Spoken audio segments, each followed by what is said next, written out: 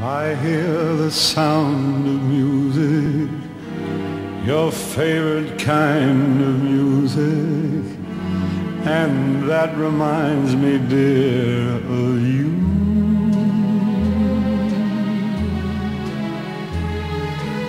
Presentato al Festival di Venezia un documentario di Antonello Sarno dal titolo Schubert, l'atelier della dolce vita, che è stato per la moda italiana Schubert e che cosa rappresenta per il cinema internazionale? Dunque Schubert per la moda italiana è stato il papà della grande moda italiana, dell'alta moda italiana, è stato il primo italiano a sfilare a Parigi e aveva come collaboratori nomi come Valentino, Renato Balestra, Roberto Capucci, quindi il primo ad avere un grande atelier in via Condotti, è stato proprio il vero e grande papà della moda italiana insieme alle sorelle Fontana e a Bichi a Milano, insomma erano molto pochi. E, per il cinema internazionale e anche per quello italiano è stato il grande creatore di moda che vestiva tutte le dive, non c'erano tanti stilisti in cui negli anni 50 ehm, eh, Schubert era il punto d'arrivo di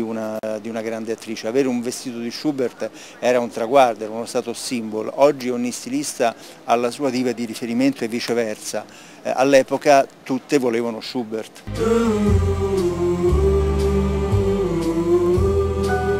Emilio Schubert mi ricorda la mia carriera agli inizi, ha fatto gli abiti più belli che io ancora ho.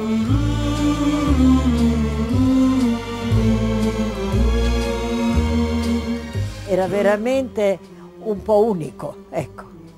un po', un po tanto.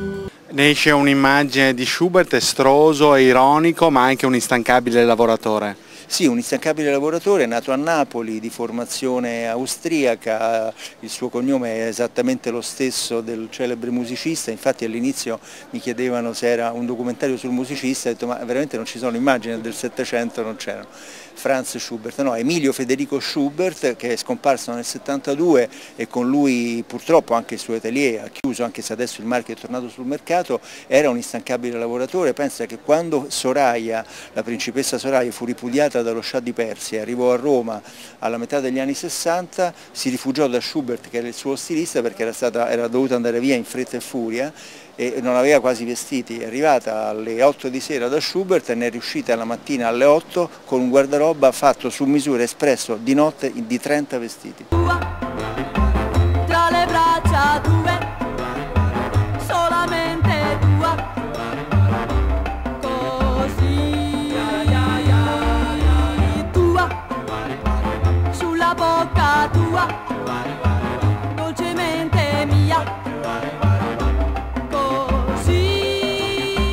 E qual è l'eredità che lui ha lasciato e cosa ha insegnato alle giovani generazioni? Ma Schubert ha, in, ha insegnato alle giovani generazioni la grande lezione della creatività italiana eh, che si contrapponeva già all'epoca a quella francese di Dior, per intenderci, eh, quindi una, una, innovazione dello stile più classico che oggi è stata ripresa da tutti gli stilisti, ma nel mio documentario eh, vengono indicati eh, sostanzialmente tre nomi di riferimento, cioè Valentino, eh, Versace e Jean-Paul Gaultier, dice Pierre Cardin che abbiamo intervistato, come appunto tre fra i tre geni più importanti, più creativi e anche più trasgressivi dell'alta moda internazionale, bene, hanno imparato la loro lezione proprio da Emilio Schubert. L'Italia, io ho fatto un nome internazionale, Schubert è conosciuto in tutto il mondo ed io rimango qui in Italia a fare la moda italiana e a mandarla in tutto il mondo.